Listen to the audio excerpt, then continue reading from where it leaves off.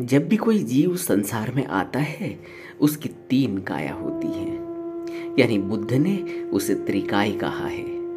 इसको दूसरे सरल शब्दों में स्थूल, यानी जिसे आँखों से देखा जा सकता है, सूक्ष्म, जिसे हम स्थूल आँखों से तो नहीं देख सकते, मगर हम अनुभव करते हैं। और तीसरा कारण शरीर, जिसको हम साधारणतया अनुभव भी नहीं कर पाते। इसी को बुद्ध ने त्रिकाई कहा है। कि कोई भी चेतना तीन रूपों में महसूस हो सकती है। महायान की शिक्षाओं के अनुसार बुद्ध जो परम सत्ता के साथ एकात्म है, यानी ऐसी महाचेतनता जो सर्वव्यापक है, जब प्रकट होती है तो त्रिकाई के अंतर्गत आती है, जो इस प्रकार है। पहला, धर्मकाई, यानी ऐसी काया जो धर्म है, यानी शाश्वत है, जिसको कुछ, जिसको बुद्ध कहते हैं धर्म आपका स्वभाव है, जो शाश्वत है और आपके शरीर के अंदर है, विराजमान है और संपूर्ण स्थूल काया में रचा बसा है। यह धर्मकाय, यानी यह जो रूप है, इसको साधारणतया हम अनुभव ही नहीं कर पाते, एहसास ही नहीं कर पाते, जबकि असल में हम यही हैं। हाँ इतना सबका अनुभव है कि कोई शरीर गिरा, निष्प्राण हुआ उसमें से कुछ चला गया, जिस वजह से वह चलाईमान था, मगर वह अब नहीं है। लेकिन हमें पता नहीं कि वो कहाँ गया। दूसरा संभोग काय है, यानी एक ऐसी आनंद रूप शरीर जो स्वर्गों अथवा दिव्य लोकों में प्रकट होता है, अथवा आंतरिक साधना द्वारा अपने अंतर में देखा जा सकता है। जिसको हम सूक्ष्म शरीर कहते हैं। तीसरा निर्माण निर्माणकाई। जैसा कि नाम से ही स्पष्ट है, यह निर्माण की जाती है, यानी प्रकट रूप में होती है, स्थूल रूप में होती है, जिसको हम इन आँखों से देखते हैं।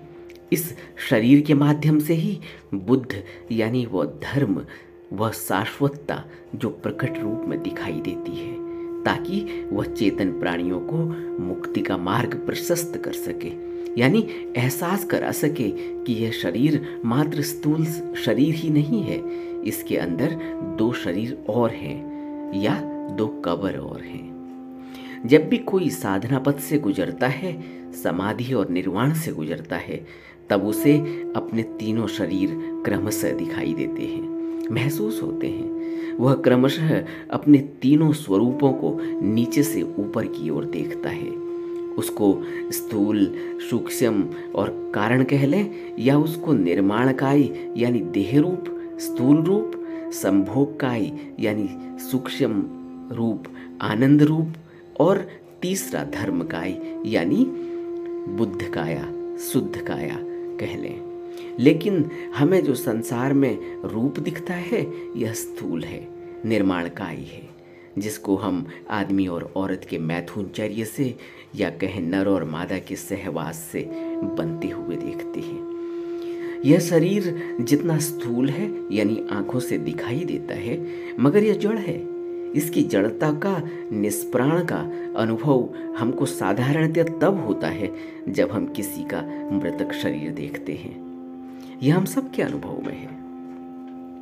हमने मरी हुई चींटी देखी है, हमने मरा हुआ पेड़ देखा है हमने मरा हुआ जीव जंतु देखा है, हमने मरा हुआ जानवर देखा है और हमने मरा हुआ आदमी भी देखा है, जिसमें अब कोई जीवन नहीं, शरीर वैसा ही है। कभी मृतक आदमी को ध्यान से देखें, तभी बुद्ध कहते थे, जब तक हम मृतक को सम्यक दृष्टि से, प्रज्ञा से नहीं देख लेते, हमें कभी उस जीवन का एहसास नहीं हो सकता, जो इस शरीर के बाद भी होगा। लेकिन हम तो मानते हैं कि कोई मर गया, लेकिन बुद्ध कहते हैं, तुमने अभी ध्यान से नहीं देखा।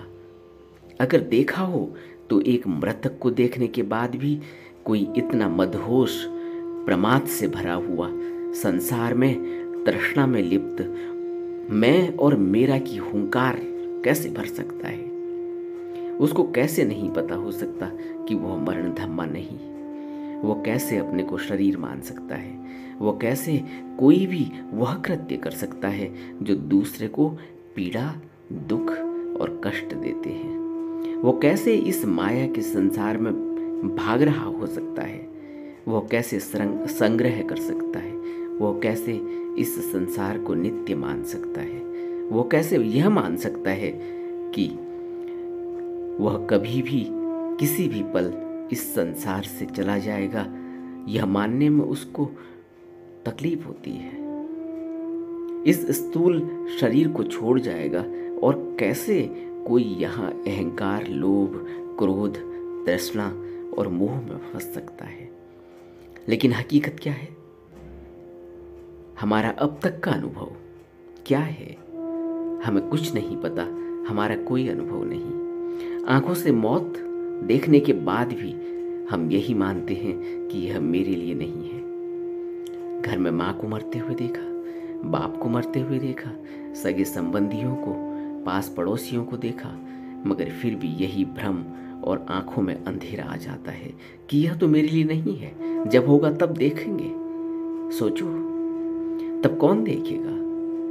यही बेहोशी है, यही मदहोशी है, एक शराबी की तरह मदहोशी कि रोड में पी कर पड़ा है, मगर सोचता है कि उसने बड़ा काम कर लिया। वो अपने घर में पड़ा है और पीकर रोड में गिरा है, नाले में पड़ा है और कोई उसे उठाए, सहारा दे तो उसको झटकता है, गालियाँ देता है। यही प्रमाद है और यही जीवन मिलने का दुर्भाग्य है, जिसमें धर्म का पता ही नहीं चलता, शाश्वतता का पता ही नहीं चलता। और यह पता ही नहीं चलता कि इस शरीर में ही कुछ ऐसा भी था जो जीवन और मरण से ऊपर था, जो शरीर को छोड़ गया और हम उसको देख नहीं पाए, महसूस नहीं कर पाए और हमारा यह थोड़े समय का जीवन बर्बाद चला गया।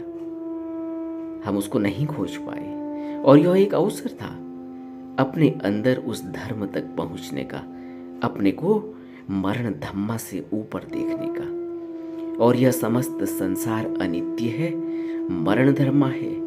एक दिन है और एक दिन नहीं हो जाएगा। सब मिट जाएगा। यह जब पेड़ उगा है, एक दिन गिर जाएगा, मर जाएगा। यह नहीं जान पाएगा कि मैं शरीर में रहता हूँ। मैं शरीर नहीं हूँ। यह जानवर या पक्षी आज आकाश में उड़ान भरता है। कल गिर जाएगा। ज़मीन पर पड़े हुए होंगे।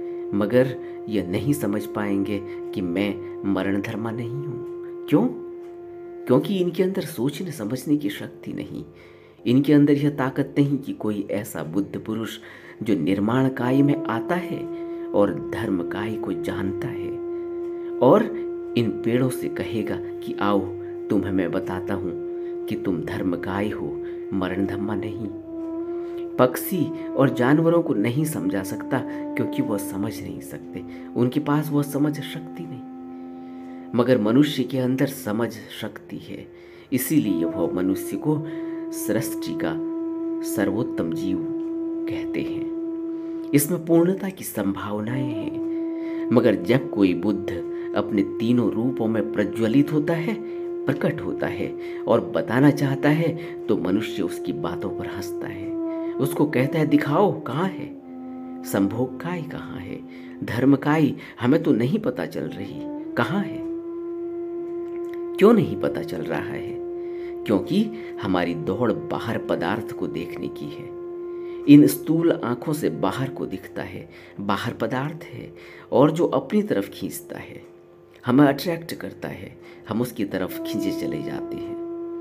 अब थोड़ा विचार करते हैं और एक मुख्य प्रश्न पर आते हैं कि जब हम बाहर को देख रहे हैं तो जब सब हमारे ही अंदर है तो हमें गाइड क्यों नहीं करता? हमें रोकता क्यों नहीं?